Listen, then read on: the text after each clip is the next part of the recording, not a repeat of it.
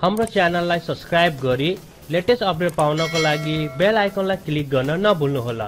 रेडमीले आफ्नो रेडमी नाइनलाई चाहिँ ग्लोबली रुममा चाहिँ अलरेडी नै लन्च गरिसकेको छ। यसको साथसाथ यस्तो लिक्स रुमहरू पनि आएको छ कि हामीले छिटै नै पोकोको तर्फबाट चाहिँ पोको एम टू र पोको एम टू प्रोलाई पनि देख्न सक्छौँ। स्पेसली चाहिँ यो मोबाइल चाहिँ नेक्स्ट मन्थमा नै है इन्डियन मार्केटमा चाहिँ लन्च हुन्छ भन्ने कुराहरू पनि बाहिर आएको छन्। यो भिडियोमा हामीले हेर्नेछौँ पोको एम टूका कन्फिगरेसनहरू के कस्ता छन् र यसका प्राइसहरू चाहिँ नेपाली मार्केटमा चाहिँ के कति हुने सम्भावना रहेको छ भन्ने बारेमा।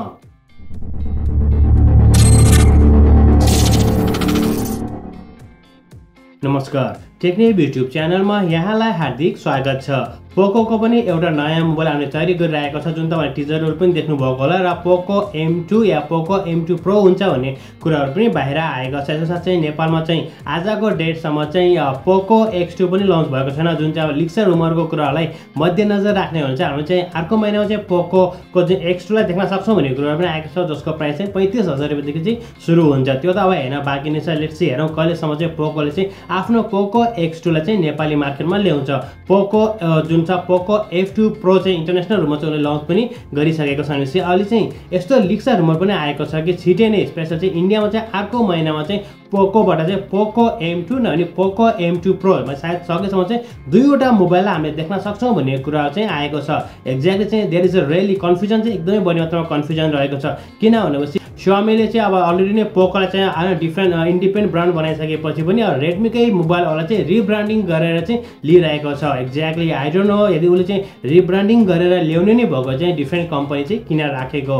आई डोन्ट नो एक्ज्याक्टली र साथीहरू के तपाईँ थाहा छ? रेडमी के थर्टी पनि अब न पोको एक्स टू भन्यो के के भन्यो? अहिले पनि अब यहाँ एउटा कन्फ्युज छ कि जुन चाहिँ पोको एम टू जुन रहेको छ त्यो चाहिँ रेडमी नाइन हुन्छ भन्ने कुराहरू पनि बाहिर चाहिँ एकदमै बढी मात्रामा आएको छ। स्पेसली चाहिँ इन्डियाको बिआइएसमा चाहिँ यो चाहिँ लिस्ट भइसकेको थियो। जुन चाहिँ मोडलहरूको नम्बरहरू चाहिँ लिस्ट भइसक्यो। त्यसपछि चाहिँ रेडमी नाइन चाहिँ पोको एम हुन्छ त्यसपछि चाहिँ रेडमी नोट नाइन चाहिँ जुन रेडमी नोट नाइन चाहिँ नेपाली मार्केटमा लन्च हुन लागेको छ त्यो चाहिँ पोको एम टू प्रो भनेर चाहिँ आउँछ भन्ने कुरा पनि आएको छ। लेट्स हेरौँ नेपालमा चाहिँ अब रेडमी नोट नाइन भनेर चाहिँ लन्च चाहिँ तयारी गरिरहेको छ। जहाँसम्म मलाई लाग्छ सायद चाहिँ रेडमी नाइन चाहिँ पोको एम टू प्रो भनेर पनि उनीहरूले चाहिँ लन्च गर्न सक्ने छन्। यदि हामीले यिनीहरूको डिजाइन र लुक्सको बारेमा कुरा गर्ने हो त्यो रेडमी नाइनको बारेमा त तपाईँलाई थाहा नै छ। सिक्स पोइन्ट थ्री इन्चको हामी चाहिँ फुल एचडीको डिस्प्लेलाई यसमा देख्नेछौँ। मिडिया टेकको हिलियो जी एटीको प्रोसेसर रहेको छ भने चाहिँ यो मोबाइल चाहिँ दुईवटा भेरियन्समा रहेको छ थ्री जिबी र फोर जिबीको चाहिँ ऱ्याम यसमा रहेको छ भने चाहिँ स्टोरेजको यदि हामीले कुरा गर्ने हो भने थर्टी टू र सिक्सटी फोर जिबीको यिनीहरूको स्टोरेज रहेको छ। क्यामेरा डिपार्टमेन्टको यदि हामीले कुरा गऱ्यो भने चाहिँ पछाडिपट्टि हामी चाहिँ चारवटा क्यामेरा विथ फ्ल्यास एलइडी लाइटलाई देख्नेछौँ। यदि हामीले यिनीहरूको मेन क्यामेराकै कुरा गर्ने भने चाहिँ थर्टिन मेगा पिक्सलको मेन क्यामेरा रहेको छ भनेपछि एट मेगा पिक्सलको अल्ट्रा वाइड एङ्गलको सेन्सर टू मेगा पिक्सलको डेप सेन्सर र फाइभ मेगा पिक्सलको यिनीहरूको चाहिँ माइक्रो सेन्सर रहेको छ चाहिँ माइक्रो सेन्सर उनीहरू चाहिँ एकदमै राम्रो बनाएका छन्। यसको साथसाथै यदि हामीले चाहिँ यिनीहरूको सेल्फी क्यामेराकै कुरा गर्ने हो भने एट मेगा पिक्सलको सेल्फी क्यामेरा रहेको छ। डिजाइन र लुक्स यदि हामीले कुरा गर्ने चाहिँ हेर्दाखेरि चाहिँ रेडमी या रेडमी के टू भनौँ न या चाहिँ हामीले चाहिँ के भन्ने उसको चाहिँ अब पोको एक्स टू भन्ने त्यो जस्तै नै डिजाइन र लुक्स चाहिँ रहेको छ पछाडिबाट झट्ट हेर्दाखेरि र जहाँसम्म मलाई लाग्छ सायद चाहिँ यो चाहिँ पोको एम टू प्रो या पोको एम टूको नामबाट चाहिँ सायद चाहिँ लन्च हुन्छ यदि उनीहरूले चाहिँ रिब्रान्डिङ गऱ्यो भने। तर लिक्स रुमरको कुरा आउँछ चाहिँ पोको एम टू र पोको एम टू प्रो दुईवटै मोबाइलहरू चाहिँ लन्च हुन्छ भन्ने कुराहरू चाहिँ आएका छन्। र साथीहरू तपाईँहरूलाई चाहिँ के कस्तो लाग्छ त्यो पनि हाम्रो कमेन्ट सेक्सनमा कमेन्ट गर्नुहोला। यसमा पनि हामीले चाहिँ फाइभ थाउजन्ड एमएचको ब्याट्रीलाई देख्न सक्नेछौँ। एटिन वाटको चाहिँ फास्ट चार्जिङ रहेको छ। थ्री पोइन्ट फाइभ एमएमको हेडसेट जेक रहेको छ। आइआर ब्लास्टरहरू रहेको छ जुन चाहिँ चाइनामा र ग्लोबली रूपमा चाहिँ रेडमी नाइनको उसले चाहिँ अलरेडी नै लन्च भइसकेको छ।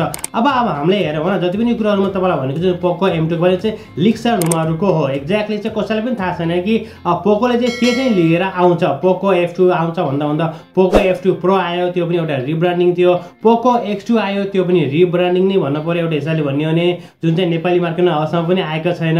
जुन अहिले चाहिँ नयाँ लिक्स आएको छ रेडमी जुन छ नोट नाइन चाहिँ नेपालमा आउने तयारी गरिरहेको छ। अब नेपाल चाहिँ लन्च हुन्छ नेक्स्ट विकमा होइन नभए पनि अर्को महिना चाहिँ नेपाली मार्केटमा लन्च हुन्छ तर चाहिँ पोको एम टूको नामबाट पनि आउँछ भन्ने कुराहरू आएको छ। जुन चाहिँ पोको एम टू प्रोको नामबाट। पोको एम टू चाहिँ रेडमी नाइन हुन्छ भन्ने कुरा आएको छ। अब यो सम्पूर्ण कुराहरू चाहिँ लिक्स रुमरको एक्ज्याक्टली के कस्तो हुन्छ त्यो त पछि हामीले हेर्ने नै छौँ। पोको एम टूको यदि हामीले प्राइसकै कुरा गर्ने भने चाहिँ नेपाली मार्केटमा चाहिँ चाहिँ जुन यिनीहरूको स्टार्टिङ भेरिएन्ट छ three GB RAM thirty two GB स्टोरेजवाला चाहिँ अठार हजारसम्म हुन्छ भन्ने कुरा आएको छ र जुन चाहिँ हाई भेरिएन्ट छ यसको प्राइस चाहिँ बिस हजार रुपियाँ हुन्छ भन्ने कुरा पनि आएको छ। सो लेट्स हेरौँ के कस्तो हुन्छ नि अब केही दिनपछि चाहिँ हामीले चाहिँ सम्पूर्ण डिटेलहरू चाहिँ थाहा पाउने नै छौँ।